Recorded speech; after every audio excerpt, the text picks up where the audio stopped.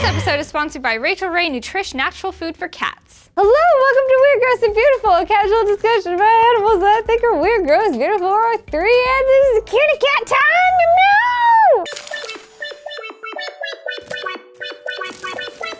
Fact number one is that there's a misconception going around the internet that I'm a cat person, and that is false. I love cats, but I, I love all animals. I'm an animal person, so there's your first fact about cats, ladies and gentlemen. Kittens meow to communicate with their parents, and adult cats meow to communicate with humans. It's kind of like they're still meowing to communicate with their parents because, because we end up being their parents. But if there are no humans around, they will not meow. Some cats can fall from up to 65 feet. Yeah, man. You know, like, how they always land on their feet and stuff like that. I mean, I'm sure that they do always 100% land on their feet. However, comma, if they were to fall from a high enough height, ain't no amount of landing on your feet will save you then. the oldest kitty on record is the Egyptian Mau, and Mau is the Egyptian word for cat. That's so cute.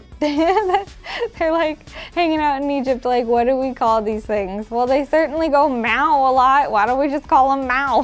In ancient Egypt, when a household cat died, families would shave off their eyebrows in mourning. Not really sure why. Maybe it was to like symbolize what the cats looked like. I don't know, but that's what they did, and it's interesting. A kitty cat's field of vision does not cover right under its nose. I think that's interesting. Speaking of their nose, a kitty cat's nose has very special markings on it. Very similar to like a human fingerprint where there's only one a fingerprint that is absolutely yours and there's only one little nose print that is a kitty's. Mm. Poinsettias are poisonous to cats. So listen up every pony. There are 73 million cats in the world and 63 million dogs. Out of you people in North America that have 63 million dogs, you can have poinsettias at Christmas. But you 73 million cat people, no poinsettias. They're poisonous. It's bad. I know you want to get into the Christmas spirit because poinsettias are adorable and wonderful, but you can have a fake one. You can have a fake poinsettia because that's not gonna kill your cat. Don't kill your cat. Cats have very good ears. In fact, their sense of hearing is one of their better senses. Like that's why they got those big old ears with the little fuzzies and they're so cute and adorable. And they have the ability to recognize your voice. Just because they're ignoring you doesn't necessarily mean that they're not hearing you because they can recognize your voice. They recognize tone and intonation. So they so be nice to your kitties because being kind and sweet does more love, love, love for the kitty because they know what you're saying. When your cat's eyes are closed, it does not necessarily mean that they're sleepy. What uh, it also can mean is that they're happy or content. And so when it, they have their eyes closed and it looks like their little faces are smiling, it means that maybe they probably are. You have more than one kitty, it is always uh, best to have kitties of the opposite gender um, because they tend to be better housemates. But make sure that you get your cats spayed and neutered and you can go to your local SPCA to get them spayed and neutered because overpopulation is a bad thing because then all of the kitties, they will not have good homes. And we want all of the kitties to have all of the good homes. So make sure you go check out the link in the description to find your local SPCA to get your kitties spayed and neutered.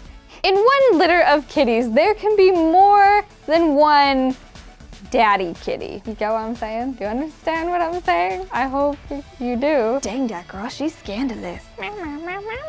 Thank you so much for watching Weird, Gross, and Beautiful. My name is Catie Wayne, and if you would like to, you can follow me on Twitter at Catie Wayne and tweet me an animal that you would like me to cover. This week's animal was suggested by Rachael Ray Nutrish Natural Food for Cats. The number one ingredient is always real meat like salmon or chicken. Never any artificial flavors or preservatives, just wholesome whole grains and veggies plus the vitamins. Look out for both dry and wet recipes where you currently shop for your family's groceries. And please, before you guys go, be sure to subscribe and stay tuned because there's gonna be a bunch of little cat content coming out this week. We are gonna be going to Cat Vid Fest in Minneapolis. Yay! And so if you see us, come and say hi. Well, if you're there, if you're going, if you happen to be there. So stay tuned and subscribe and like and share and love. I love you guys. I'll see you next time. Bye! Mwah.